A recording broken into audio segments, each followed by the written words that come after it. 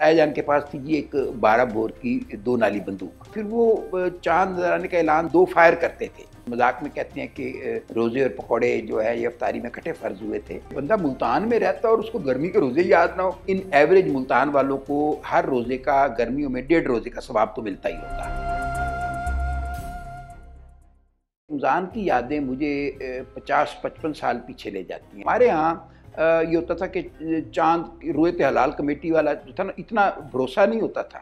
زیادہ ہمیں ہوتا تھا خوشی کہ خود چاند دیکھا جائے۔ مجھے بچپن میں یاد ہے ہمارا پہلے رمضان سردیوں میں آیا تھا۔ ہمارے گھر میں ایک پرانی انگیٹھی تھی، بہت بڑی لوہے کی، اور اس میں پتھر کا کوئلہ جو تھا، وہ صبح صبح مطلب اس میں جلتا تھا۔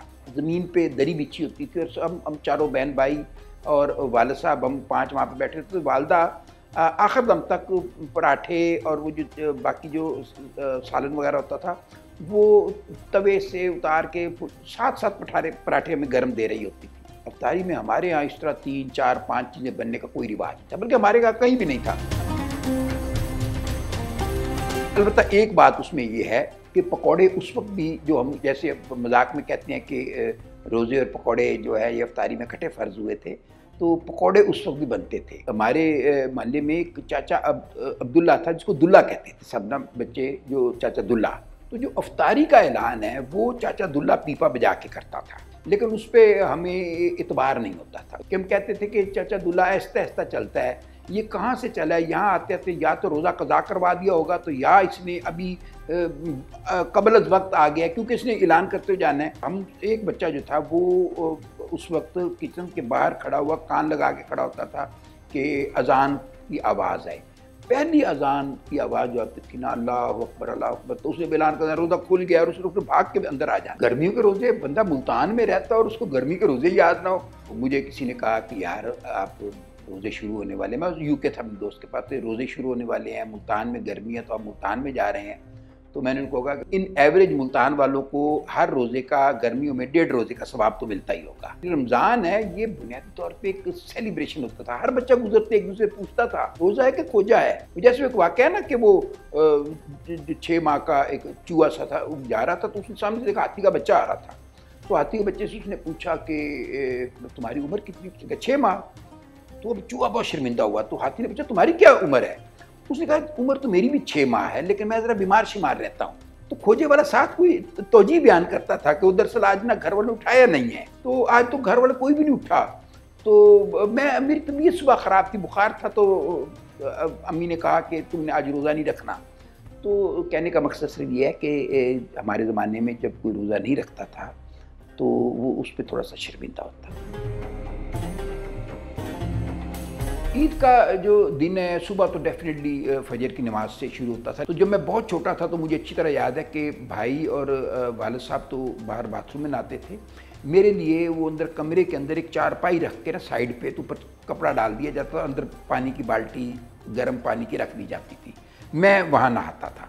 اچھا نہانے کے بعد نکلتے تھے۔ نکلنے کے بعد ابا جان نے بڑے اہتمام سے وہ عطر جو تھا وہ مجھے ابھی بھی یاد ہے اچھی طرح۔ وہ سبز رنگ کا ہوتا تھا۔ اور خاص کا عطر تھا۔ تو لیکن اس میں ایک چھوٹا سا ہوتا تھا کہ والد صاحب اس وقت نا تھوڑے سے روئی میں لگا کے تو ہمارے کان میں بھی ایک کان میں وہ دیا جاتا تھا۔ پھر تھوڑی سی روئی لے کے وہ یہاں لگایا جاتا تھا اور یہاں پہ لگانے کا بڑا عطر کی شیشی کا ایک رواج تھا۔ وہ لگتا تھا۔ ہمارا عید کا دن اس لیے ڈفرینٹ ہوتا تھا۔ اب بس ہمارے بچے ہیں۔ وہ یہ ملٹی نیشنل جو فوڈ چینز ہیں، وہاں جاتے ہیں عید کو سیلیبریٹ کرنے کے لیے۔ اچھے ریسٹورنٹ میں جا کے کھانا کھاتی ہیں۔ اچھا وہ جس ریسٹورنٹ میں جا کے کھانا کھاتے ہیں، انہوں نے سال میں اس میں پانچ، سات بار اور بھی کھانا کھایا ہوتا ہے۔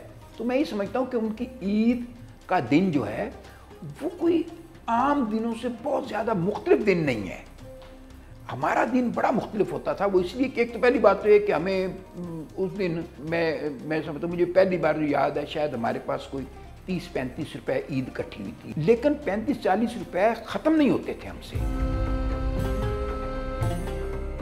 عید نماز کے فوراً بعد عید گاہ میں ہماری خریداری شروع ہو جاتی۔ مطلب وہاں پہ چنے کھانے جو کھٹے میٹھے چنے ہوتے تھے، پھر وہ کوئی والی مٹھائی بنی ہوتی تھی، اس کو ہم سارا سارا انتظار کرتے تھے۔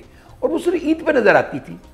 تو وہ کھوئے والی مٹھائی کھانی کھوئے والی مٹھائی کھانے کے بعد وہ ایک دو پیسے کی وہ ایک ٹٹیری سی ملتی تھی ٹیٹر کرتی تھی، اس کو گھما کے لوگوں کے کان کھانے۔ اب کوئی اس کو چلائے تو دل کرتے تھے بچے کو دو ریپٹے مارے جائے لیکن اس وقت اتنے شوق سے چلاتے تھے۔ پھر عیدگاہ کے باہر نکلنا تو وہاں پہ وہ جامنی رنگ کے وہ سرکنڈے کے ساتھ گندے سے کپڑے کے ساتھ بنا وہ گھوڑا ہوتا تھا۔